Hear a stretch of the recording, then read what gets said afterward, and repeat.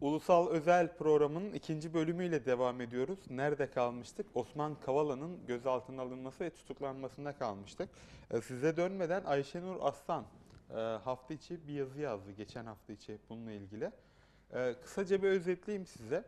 Osman'ı 1976 yılında Ankara'da tanıdım. Kısa süre önce işte Hürriyet'in genel yayın yönetmenliği koltuğunda oturan Sedat Ergin ve TRT Spor spikeri Ümit Aktan'la aynı evi paylaşıyordu. Oradan tanıdım diyor. Ee, anlatmış anlatmış işte 8-10 kez gördüm 1990'lardan sonra toplasanız diyor. Şu bölümü ilgi çekici. İstese Ferit Şahenk ile Amerika'da komşu olabilirdi. İstese Londra'da sofistike kültür sanat turlarıyla solcu geçmişine bir selam gönderip lüks malikanesine çekilebilirdi. İstese son model bir yatla mavi tura çıkıp Sinan Çetinler'in falan katılacağı şiir akşamları düzenleyebilirdi.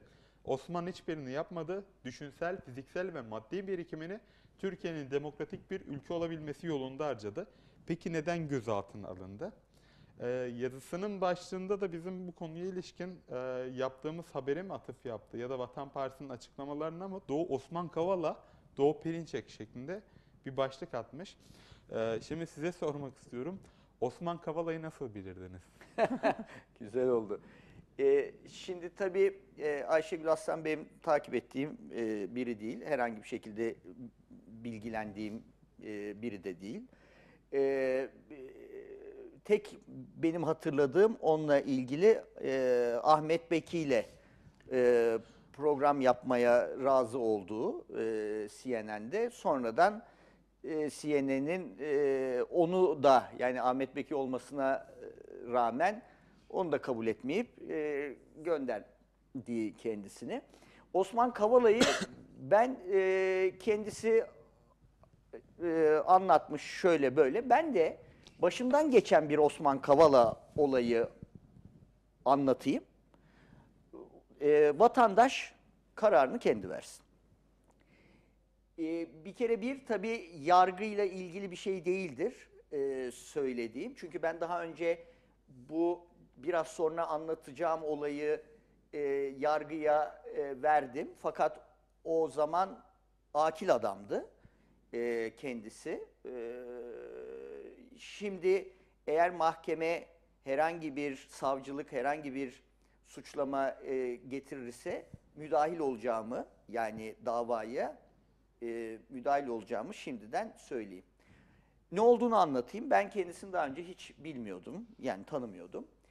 E, 2008'de ben Birleşmiş Milletler Kalkınma Programı'nın e, başındayken Türkiye Cumhuriyeti 37 milyon e, dolarlık Diyarbakır'da kullanılacak bir Birleşmiş Milletler fonu istedi. Bu fonun 37 milyon dolarlık fonun 10 milyon e, dolarlık kısmı Diyarbakır'daki sivil toplum örgütlerine karşılıksız hibe olarak dağıtılacaktı. Bu 37 milyon dolarlık fon geldi. Fon gelince dönemin e, AKP'li e, bakanı Mehdi Eker bu 37 milyon e, doların başına Diyarbakır'da yerleşik Nurcan e, Baysal isimli bir şahsın geçmesini istediğini söyledi. Biz de kendisine bunun Birleşmiş Milletler yetkisinde bir fon ve işe alım süreci olduğunu, işe alım sürecinin kuralları olduğunu söyledik. Kurallar da şudur. Böyle bir 4-5 bin dolar maaşlık bir iş için gazeteye ilan verirsiniz. İlana vatandaşlar başvurur. Siz bir kısa liste komisyonu oluşturursunuz. 4 kişi, 5 kişi. Onlar bu özgeçmişleri değerlendirirler. Biz de aynen bunu böyle yapacağımızı söyledik. Çeşitli yerlerden bu isimle ilgili ısrar geldi. Bu isim gayet şeffaf bir isimdir. Yani çok samimidir. Nurcan Uysal. Nurcan Baysal, Baysal, çok samimidir. özür dilerim. Kürdistan'ı e, kuruyoruz der. E, devletin yaptığı e, hendek operasyonlarını eleştirir. PKK'nın bir özgürlük mücadelesi verdiğini e, söyler. Bunları da samimiyetle yazılarında ben yani e, tanımıyorum ama bloglarını falan inceleyince e, Google'dan araştırınca görüyorsunuz zaten. Şahıs bu. E, biz ne yaptık? Tarım Bakanlığı'ndan Mehdi Eker'in de istediği gibi iki kişilik iki kişi daire başkanı, iki tane daire başkanı aldık komisyona Tarım Bakanlığı'ndan. Birleşmiş Milletler'den de insan kaynakları sorumlusunu koyduk. Dört kişilik bir komisyon. Komisyon vatandaşların başvurularını aldı, değerlendirdi. Kısa listeye dört kişi yani ilk dört, en iyi dörde Nurcan Baysal'ı sokmadı. Tamam mı?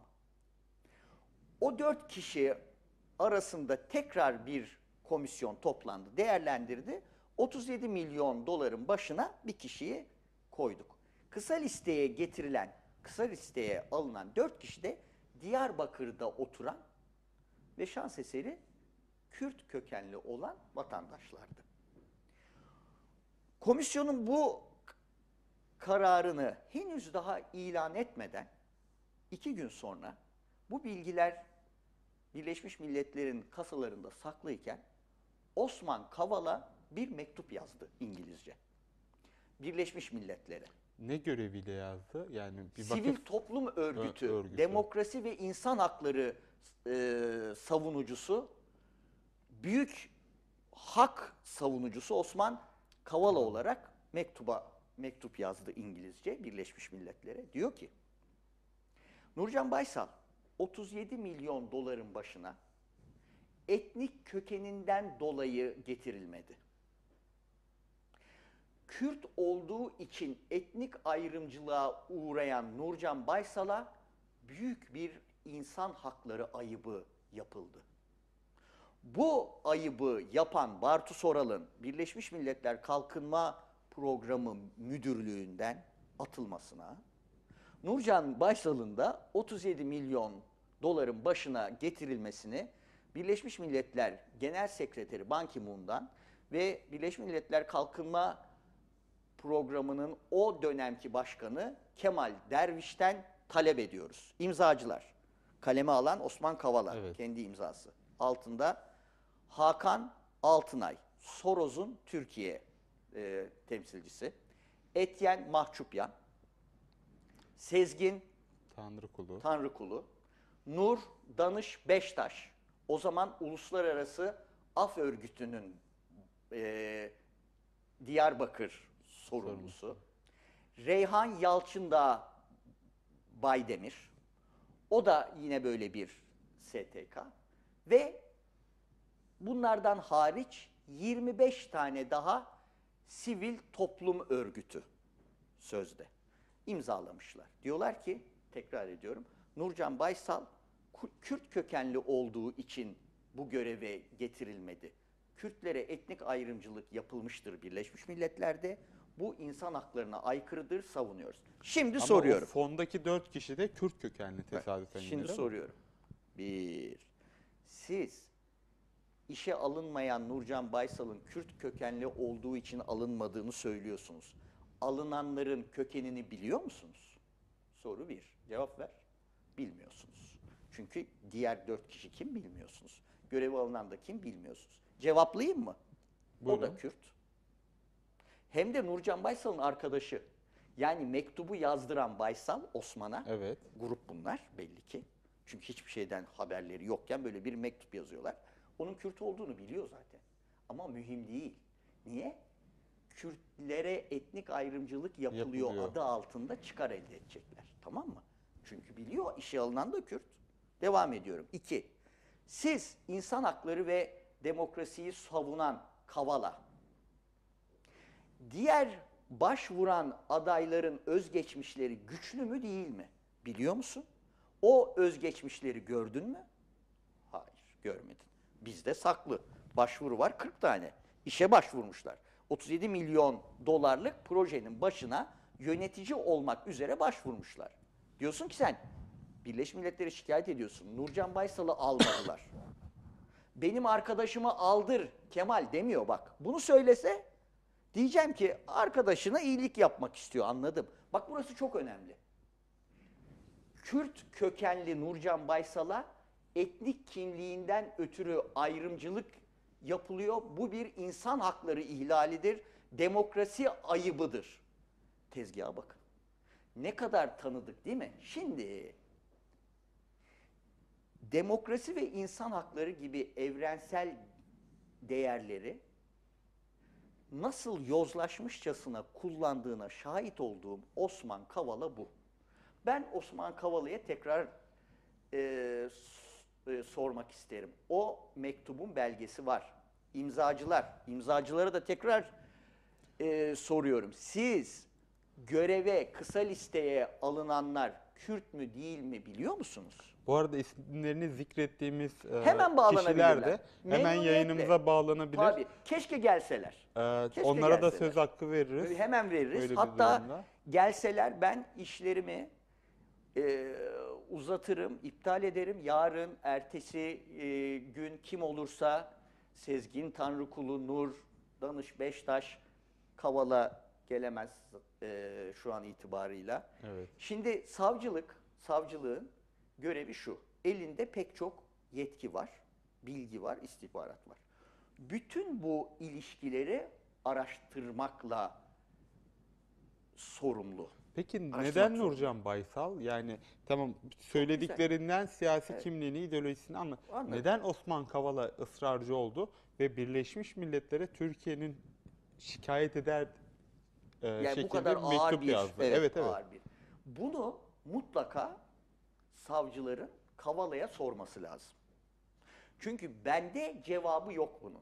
Cevabı olan şeyler bende belli. Şu, bir ilan verildi, ilana başvurular oldu, kısa listeye dört kişi alındı, Nurcan Baysal alınmadı diye demin ismini zikrettiğim şahıslar Kürt kökenlilere etnik ayrımcılık e, yapılıyor. Nurcan Baysal Kürt kökenli olduğu için göreve getirilmedi diye Birleşmiş Milletler'e mektup yazdılar. Halbuki göreve getirileni de tanıyorlar. O da Kürt. Yani bu konularla hiç ilgilenmiyorlar. Dahası da var. Ben bu olayı aldım ve büyüttüm. Birleşmiş Milletler e, Genel Sekreterine mektup yazdım. Belgeleriyle gönderdim. Sürecin normal bir biçimde işlediğini, komisyonda Tarım Bakanlığı'ndan iki de daire başkanı olduğunu, Birleşmiş Milletler'den de iki kişi olduğunu, dördünün de Nurcan Baysal'ı almadığını bu arada, bu da enteresan. O dört kişiyi suçlamıyor da programın başı olduğum için beni suçluyor. Beni hedefe koyuyor. Koyabilir, mahsuru yok. Ama tekrar ediyorum. Sen göreve getirilen dört kişinin etnik kökenini biliyor musun? Bilmiyorsun. Üfürüyorsun ama. Niye?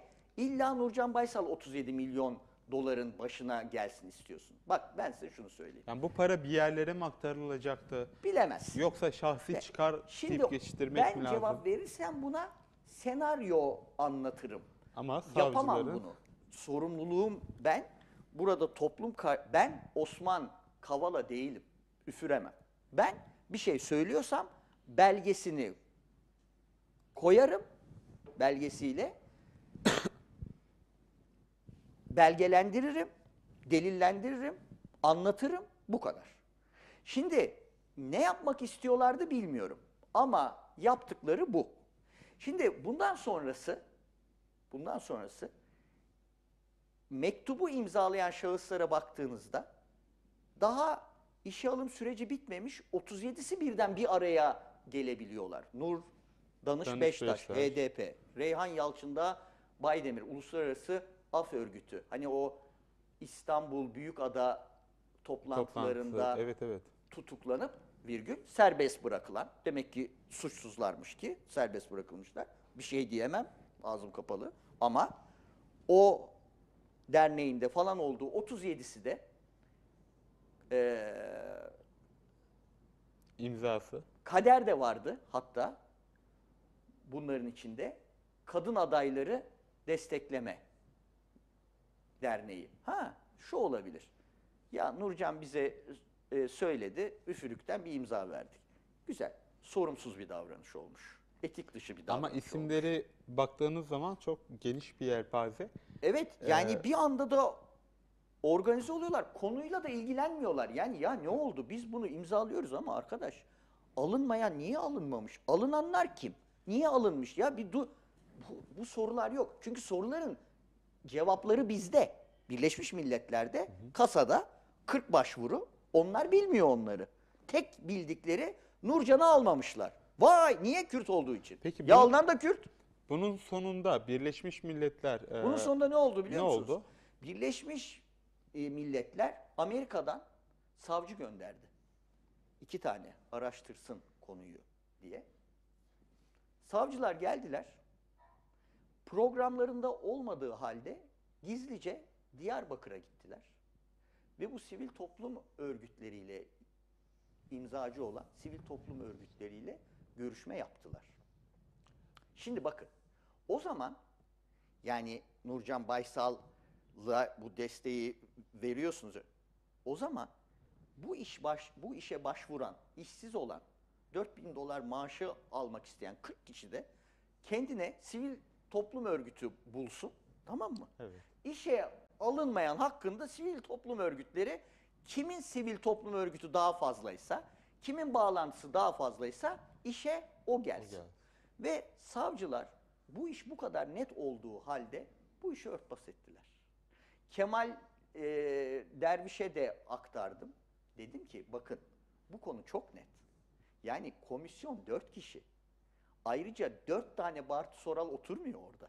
Tarım Bakanı'ndan iki kişi oturuyor. Yani savcılar örtbas etti derken Yani o- bu konu açık. Diyarbakır'a gittiler, geldiler vesaire. Nurcan Baysal alınamadı o işe. Çünkü Evet. yani artık zaten rezili çıkmıştı. Çünkü e, bana basın açıklaması yapmamamı e, söylediler. Ben de orada e, bir karar aldım. Şunu söyledim. Ya dedim bu ortamda bu ortamda Birleşmiş Milletler'in de bunu yani kurum olarak değil yöneticilerinin bu ekibi bu kadar kurduğu bir ortamda çalışmam doğru olmaz artık. Çalışmam mümkün de değil artık. Ama bunu kamuoyuyla paylaşacağım. Dediler ki bana çok önemli bir pozisyondasınız. Göreviniz stratejik. Kariyeriniz çok iyi. Açıklama yapmayın. Zamanla sizi başka bir yere kaydırırız biz. Düşündüm. Zorluklarına göğüs germeye karar verdim. Açıklamayı yaptım. Dedim ki 37 milyon dolarlık bu fon için bu bana göre Amerikan'a bağlantılı Soros, TESEV, Etyen Mahçupyan, Kavala, Baydemir vesaire bir örgüt olmuşlar. Bir menfaat çıkar grubu olmuşlar. Bu olaydan benim anladığım bu. Bu olay için bir çıkar grubu oluşturmuşlar. E bu ilişkilere bakınca bu para PKK'ya gönderilecek. Kamuoyuyla bunu paylaşıyorum dedim. Öyle olunca tabii ki hiç kimse hiçbir şey Yapamadı. yapamadı fonla ilgili. Ben gittim ama. Yani Siz görevi bıraktınız. ben bıraktım. Ben bıraktım. 37'yi e, kurtardık. Görevi bıraktık. Sonra ne oldu? 2008'de bu olay oldu. 2009'da açılım zaten başlamış. Başlamış. Oslo'da Moslo'da görüşülüyormuş zaten. Çünkü inanın şunu anlamamıştım. Mehdi Eker, Tarım Bakanı AKP'li. E, e, diğerleri HDP PKK çizgisinde. Ya dedim ikisi de bir adayın alınması için niye ısrar ediyor? Siyasi bir olay olsa cık, yani burada bir gariplik var diyordum. Gariplik anlaşıldı. Açılım süreci başladı. Açılım süreci e, başlamış. Nitekim bu benim e, basın açıklamam karşısında Taraf Gazetesi beni manşetten işledi. Arkadaşlar aradılar. Ya dediler böyle böyle. Yani okumuyordum. Bir şey yapar mısın? Açtım gazeteyi. Şöyle bir e, manşeti e, vardı. Uluslararası örgütün ulusalcısı tespit edildi. Bartu Soral'ın ulusalcı olduğu anlaşıldı. Yani Yani şimdi 37 milyon Bartu Soral'ın ulus- ulusalcı, milliyetçi olmaktan, Atatürk milliyetçisi olmaktan gurur duyuyorum. Atatürk eee milliyetçisiyim. Ne mutlu Türk'üm diyene sözünü çok önemsiyorum. Ülkemin bütünlüğü için, birliği için, kalkınması için çalışmaktan zevk alıyorum, gurur duyuyorum. Ee, koltuğu da o rahatlıkla bu 37 milyonluk şeyde yani şahsi bir olay. Bunu da hani daha fazla anlatmayayım. Ee, Osman Bey'i Ayşegül Hanım'dan farklı olarak tanıdığım Yani benim de bu. biz de anladık şimdi böyle hani- Belgelerin de hepsini eee, Kurt Kapanı ve Paralel Kürdistan Kumpası kitabımda belgelerini ortaya koydum. Bu anlattıklarım. Ayşenur Aslan'ın da herhalde düşünsel, fiziksel ve maddi birikimini Türkiye'nin demokratik bir ülke olabilmesi yolunda harcadı. Kastı bu olsa gerek. Demokratik yolu işte ben size anlattım. Ee, Mektup. Osman Kavala üzerinden aslında sık sık böyle sivil toplum kuruluşu, sivil toplum kuruluşu adı çok geçti. Hatta Evet. Amerika'dan gelen iki savcı gitti Diyarbakır'a sivil toplum kuruluşları. Yani sivil toplum kuruluşları nasıl fonlanıyor? Osman Kavala da tutuklandığında Amerika'nın ilk açıklaması saygın bir sivil toplum lideri Evet. olmuştu. Eee, açıklamayı yalnız unutmamak lazım belki. Henry Barkey. Evet, yani Henry- Henry Barkey CIA istasyon şefi. Evet. yaptı. Yani CIA istasyon şefi Osman Kavala'yı önemli bir Türk sivil toplum örgütçü, aktivist olarak tanımlıyor. Henry Önemi Barkey. nereden geliyor? Henry Barkey için önemli belli ki. CIA için önemli ki açıklama yapmış. Ben yapmadım. Yani peki e, Osman Kavala'nın Soros bağlantıları üzerine Şimdi bakın şunu söyleyeyim size. vakıflarının, Bu sivil derneklerinin toplum örgütü hikayesi ve evrensel değerler çok önemli. Türkiye'de bir grup aydın, okumuş, vatandaş, insan da böyle bir eee, Türkiye Cumhuriyeti'ne düşmanlık var. Yani demokrasi ve insan haklarından yani sanki o Osmanlı'dan geçiş, Balkan Harbi, Birinci e, Dünya Harbi, Kurtuluş Savaşı'nı vermemiş bu ülke. Osmanlı'dan bu kadar kötü bir beşeri sermaye yani insan e, zayıflığı almamış gibi devamlı bir cumhuriyete sıkıntıları var. Cumhuriyetle bir problemleri var bunların. Bakın bunlar sadece siyasal İslamcı değil. Bunlar bizim liberal sol veya onun tam karşılığını e, bilmiyorum ben. Yani liberal solun anlamı nedir? Eşek gibi bir şey herhalde. Yani. Anladın mı? Ben bilmiyorum şu hakikaten. E, şimdi böyle bir aydın kitle de var. Cumhuriyetle problemli. Halbuki Cumhuriyet böyle bir enkaz devralmış. Demiş ki biz medeni ve muasır olmak zorundayız ama bu devrimlerin, Cumhuriyet devrimlerinin alttan gelmeyeceği çok belli. Çünkü altın, alt, halk Evet. 15 senedir savaşta, Balkan Harbi'nden başlamış zaten. Eğitim desen cahil, okuma yazma sıfır. Din hakkında da hiçbir bilgisi yok. Atatürk bir cumhuriyet eee, kuruyor, bir meclis kuruyor, bir başlangıç yapıyor. Atatürk köy enstitülerini kuruyor. Çok sesli müzik öğretiyor. Keman öğretiyor köy enstitülerinde.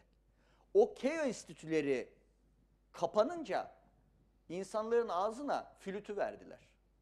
Bak burası çok önemlidir. Füf, fürü, fü- Evet, Bu evet. köy enstitüleri çok ve bu cumhuriyetle bu Atatürk'le barışık değiller. Niye? Dönüyorlar diyorlar ki efendim eee, Kürtlerin e, e, hakları Kürt isyanları 23'te başlıyor. Diyorlar ki geri kal 23'te her yer geri zaten. Her yani Türkiye'nin batısı sanayileşmiş mi sanki 25'te, 27'de Peki- Kürt isyanları olurken? Peki neden Hayır. bu dönüşüm? Yani özellikle Bakın, tırnak içinde aydın diye ifade ediyoruz. Şöyle özellikle söyleyeyim. aydınların bir bu kısmı, dönüşümü. bunların bir kısmı vatandaşların bir kısmı duygusal, saf. Bir kısmı 80 darbesiyle travmalı. Askeri devlet olarak görüyor, değerlendiriyor. Travmalı. Ahmet Altanlar falan. Evet. Ee, madralar var. O açık toplum radyosu, madralar falan. Bunlar travmalı Cumhuriyet'le. Bir kısmı var, sivil toplum örgütü adı altında dış bağlantıları sağlamışlar. Çünkü Amerika ve Avrupa terörü, PKK'yı destekleyen, PKK'nın silahlarının nereden geldiğine bakalım istiyorsanız. NATO ülkelerinden geliyor. NATO 15 Temmuz'da yapılan darbeyi de destekleyen NATO. Nitekim Fethullah Gülen'e sahip çıkar havada konuşuyor NATO. Bitmedi. Yani TRT'deki Fethullah Gülen nerede oturuyor? Ayvalık'ta mı oturuyor? Fethullah Gülen Amerika'da Pensilvanya'da. oturuyor. Kimin koruması altında? Amerika'nın. Yani şimdi bu darbede Amerika'nın demek ki olay aslında bir yerde NATO'yu sorgulamaya da gidiyor. Amerika'nın o stratejik ortaklığı ne demekse yani Katır gibi bir şey oldu herhalde. Çünkü senin ülkeni bölmeye uğraşıyor. Silah veriyor PYD'ye.